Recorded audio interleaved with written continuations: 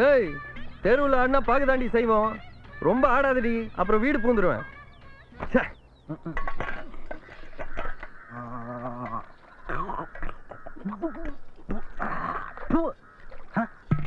வண்ண தமிழ் பெண் ஒருத்தி என் அருகே வந்தால் கண்ணதவில் கோடி கோடி கற்பனைகள் தந்தாள். ஆயிரம் கண் போதாது வண்ணக்கிளியே உன் குத்தால அழகை காண ஆயிரம் கண் போதாது விளக்குமாறு பிஞ்சிரும். வண்ணக்கிளியே. இதே பழக்க போச்சு.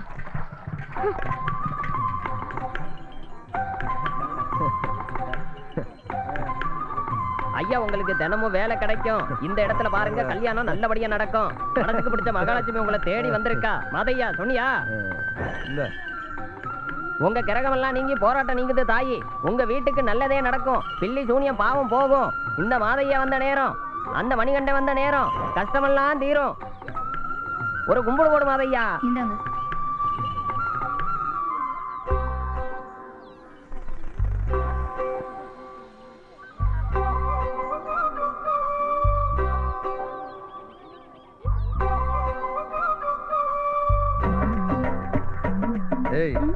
முத்தம் கொடுறி? கொடுக்க மாட்ட ஆ? குடுறி இந்த சரி இப்போ இங்க ஒரு முத்தம் கொடு. எங்கடி போற? லூசு.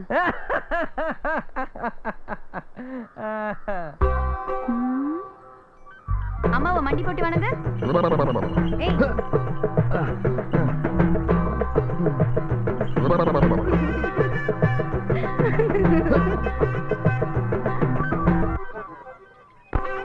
ஏன் வடிவு? இந்த கோயில்ல அப்படி என்ன விசேஷம்? தாமரை எங்க ஊர் விநாயகர் கிட்ட வேண்டிக்கிட்டா நீ நினைச்சதெல்லாம் நடக்கும்.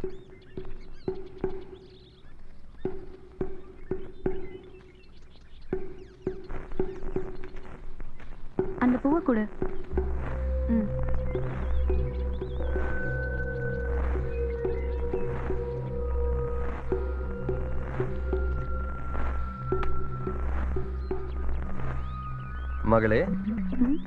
உன் விருப்பப்படியே காதலனை கைப்பிடித்து தீர்க்காயுசா நூறு வருஷம் வாழ்வாயாக. ஆசாமிலாம் சாமியா வேஷம் போடுறதாலதான் இந்த நாடே குட்டிச்சோர போகுது. வாழ்த்துறதுக்கெல்லாம் ஒரு தகுதி வேணும். இப்படி மரத்துக்கு மரம் தாவர குரங்கெல்லாம் வாழ்த்தக்கூடாது. யாரா அது மரத்துல? இவனுங்களா? யாரா அது கேக்குறது? எந்த பையடா மரியாதை எல்லாம் பேசுறது? இறங்கி வாடா. மூஞ்சி நல்லா பாத்துக்க. நான் தான் கதிர். எனக்கு இன்னும் வேலை முடியல. வேலை முடிஞ்சதை இறங்கி வரேன். அங்கேயே நில்லு.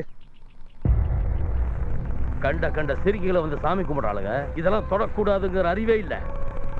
யார் யார் என்னென்ன செய்யறது எந்தெந்த இடத்துல கை வைக்கிறதுன்னு கொஞ்சம் கூட முறை இல்லாம போச்சு பயல்களுக்கு. இதெல்லாம் அதிகப்படி நிறுத்திக்கோங்க. அடிப்படி. யோ மரியாதைய பேசு. மானம் கிட்டோம் என்னய்யா பெரிய முறைய கண்ட? நாங்க சாமியை கும்பிட்டா சாமி என்ன கோச்சிக்குமா? இல்ல நாங்க சாமியை தொட்டா சாமி ஓடி போயிருமா? நாங்க சாமியை கும்பிடுறதுனால உங்களுக்கு என்ன நஷ்டம்? இஷ்டப்படுற யார் வேணாலும் வந்து சாமியை கும்பிடலாம். இனி இப்படி பேசிக்கிட்டு தெரிஞ்சுங்க கை கால் இருக்காது? ஜாக்கிரதை. கை கால் இருக்காதா? பாத்துருமடா கை கால் தான் நல்லா பாத்துக்க. வேலையா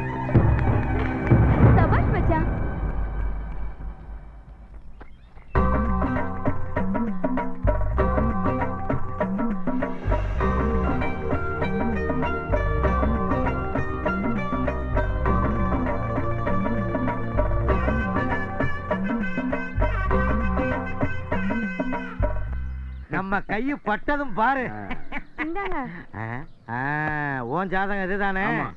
சாமி என்ன? முதல்ல எவ்வளோன்னு பேசிக்குவோம். ஆஹா, ஜாதகத்துக்கு எவ்வளவுன்னு கேக்குறியா. துல்லியமா பார்க்க போனா இருபது ரூபா. இருபது ரூபாயா? இது ஊர் உலகத்துல நடப்பு. நான் வாங்குறது பதினஞ்சு தானே? பதினஞ்சா? அது பல பேர் வைக்கிற ரேட்டியா? நான் வாங்குறது பத்து ரூபா தானே? பத்து ரூபாயா? மத்தவங்களுக்கு பத்து ரூபா.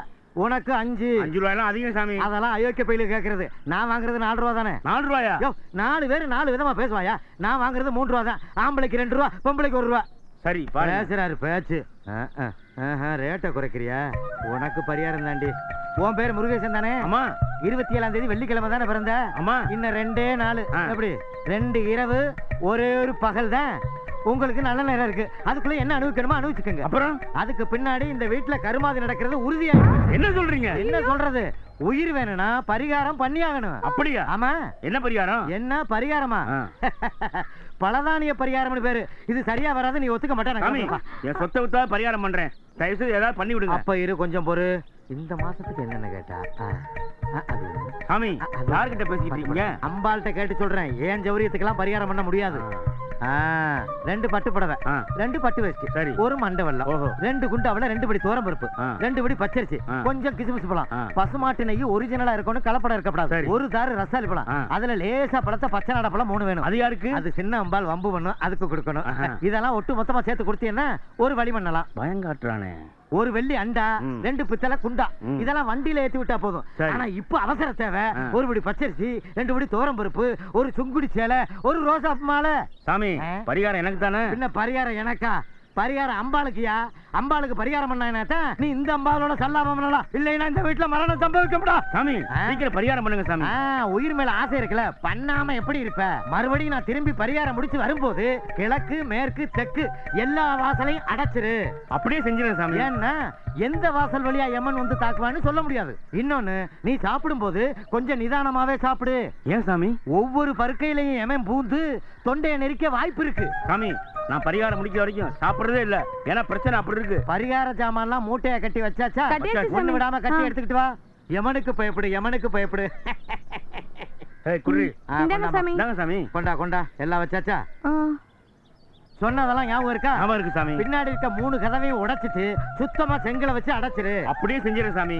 நான் இந்த பக்கம் போலாமா? இந்த பக்கம் போகலாம். எத்தனை நாள் போகலாம்? ரெண்டு இரவு ஒரு பகல். அதுக்குள்ளே நான் பரிகாரத்தை முடிச்சுட்டு வந்துருவேன். அதே மீறி நீ போனீன்னா எனக்கு முன்னாடி பாதச்சனி ஒன்ன பிடிச்சிருவான். அப்புறம் உன் குடும்பம். அப்புறம் நான் பொறுப்பு கிடையாது. வரட்டுமா? வாங்க சாமி.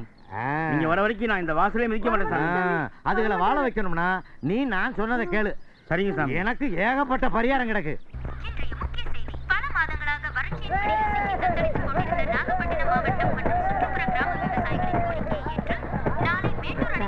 நல்ல காலம் பிறந்துருச்சு தலைவரே. ராசா நீங்க நல்லா இருக்கணும்.